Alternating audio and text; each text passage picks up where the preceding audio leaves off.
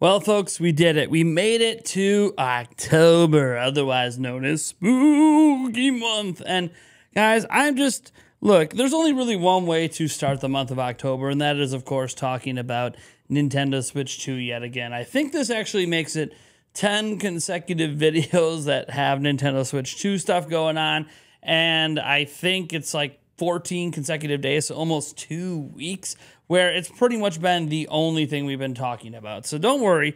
We have some stuff we need to talk about this month, including like Mario Wonder and the whole lineup this month. It's actually a crazy month for game releases. So I do want to make sure that we spend some time talking about that stuff. But for today, we're actually focusing on Nintendo Switch 2 just because something is popping up in my feed and popping up in my headlines that could mean something, but probably doesn't. I, I'm going to let you guys sort of be the determining factor because this actually does come directly from Nintendo themselves. Now, before we dive in, I just want to let you guys know that we are on our road to 150,000 subscribers, and we're actually on our road to just having a positive month of sub growth. We actually, in July, lost like 600 subscribers. In August, we lost about 35 overall subscribers in the month. I think last month was 27. So we're creeping slowly back up to positive sub growth. So I would appreciate if you subscribe to the channel. Drop a like if you're enjoying the content, and I don't even know, maybe uh, hit that bell icon and be notified of all future videos, podcasts, and live streams. All right, guys. So, what are we talking about? Well, there's this hiring post going up over at Nintendo, and this was originally found by Doctre81, so full credit to him. But it's being shared at a lot of places. I know my good friend Andres Restart talked about it, has have many others, uh, talking about how this might be the case of proving that Nintendo is launching the Nintendo Switch 2 in June of next year.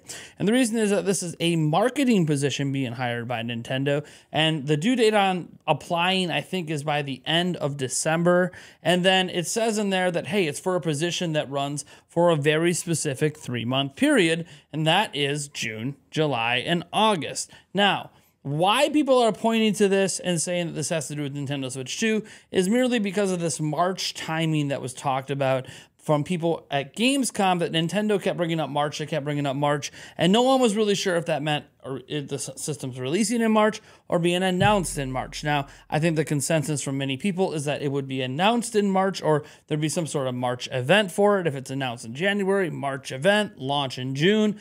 That could actually make a lot of sense. That's a six month marketing cycle. That's pretty much exactly what they did with the Nintendo Switch, doing, you know, October to March. So again, it sort of all lines up that it could be, you know, teased in January, uh, you know, full reveal in March, and then obviously releasing in June. This does make a lot of sense. And you could argue this marketing post from Nintendo means exactly that that, hey, we're going to launch this bad boy in June. And you know what? I can't sit here and say, it's not possible. Of course, it could launch in June. It could also launch in March. It could also launch in August. It could launch in September. It could launch next November. We don't really know.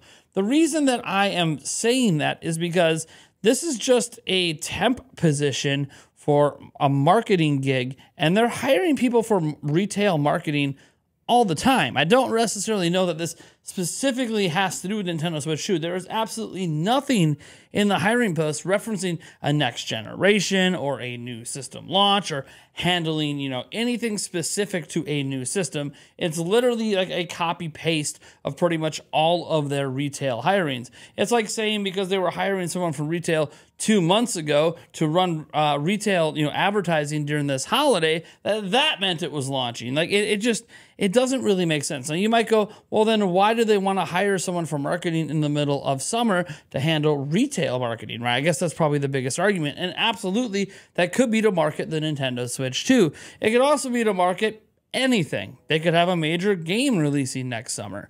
They could have a revision launching. They could just be doing a summer thing. Like you could have a summer direct, and maybe they're going to do an in person event. Maybe they're going to have demos. Look, again, it could be for Nintendo Switch 2.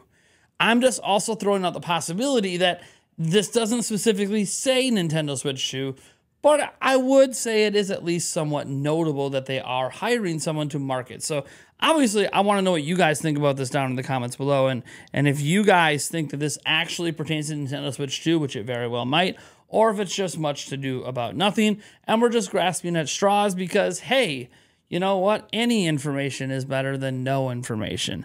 But I, again, we, we don't really know, and I think we'll have a much greater idea once Nintendo unveils the system. And I am of mind that in the first three months of 2024, Nintendo's at least going to tease their brand new system. I could be wrong, of course, but that is just my gut feeling. And I think the big reason a lot of people are talking about this, and Doctre81 uh, brought it up himself, is that there seems to be a growing contingency of fans that are yelling Team 2025. And I think they're yelling Team 2025 not because they actually think Nintendo Switch 2 is launching in 2025.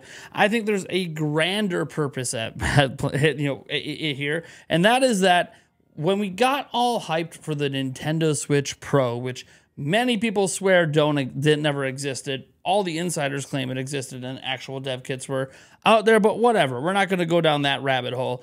The point is that we got really hyped for that. All of us that weren't in the know got really hyped, and then it didn't really come out. And then instead, we got a revision in the Nintendo Switch OLED. So I think people are trying to protect themselves from 2024 expectations. So when you see them out there screaming, Nintendo hasn't said anything, technically, they said something in 2021. Not going to go there though. We already know all this. We're rehashing stuff Nintendo's already said. Nintendo, in fact, has already said they're working on new hardware and they've said that publicly. But when we're looking forward to 2024, I think people just scream Team 2025. Nintendo's not going to it. They'll bring up all the logic. Oh, Nintendo's never had a system this successful for this long. Nintendo always takes eight years in between releasing handheld systems, which has literally never happened. Uh, so look, it's it's just it's just funny watching the made up rationale coming out that Nintendo is waiting until 2025. I'll say this. I could have given Team 2025 some credence if in this last Nintendo Direct, Nintendo actually announced new video games. Instead, they showed off games already announced, or they announced a bunch of ports, remasters, slash remakes. They didn't announce anything new. If you think about it, like, what's our new game in 2024? Yeah, we have Metroid Prime 4 TBA, but what's the actual new game announced for next year? Princess Peach Showtime. That's it. We've never gone into a Euro Switch only knowing about a single game that's actually brand new. So I'm just going to say that it's very clear with that last direct that we, we are getting a new system next year. But I understand you want to temper your expectations. You don't want to get super hyped and upset. You'd rather wait for Nintendo to announce the thing, or you just rather assume it's so far off you don't need to think about it. And this isn't to say that I'm not happy with the Nintendo Switch. Heck, look at the month of October. I mean, yeah, we have third party games like Sonic Superstars. We have Detective Pikachu Returns coming here this week. We have obviously Mario Wonder as well. If you're PlayStation, you got, you know, was it Spider Man 2 coming? I think Assassin's Creed uh, Mirage comes out this month as well. I don't know. It's a packed month. So a, a lot of stuff to play. But I'm just pointing out that, hey, it doesn't really make any logical sense to be Team 2025, and this hiring post might be suggesting summer. It also might not actually mean anything.